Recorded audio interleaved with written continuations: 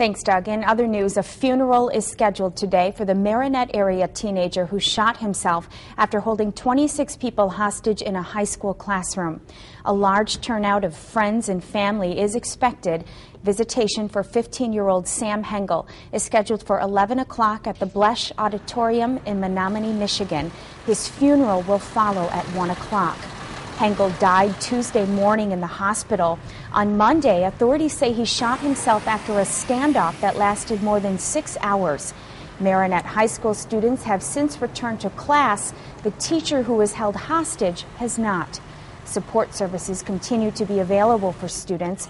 The district says attendance has been close to average. It also says hundreds, if not thousands, of well wishes and offers of services have been received from the local community and from across the state and country.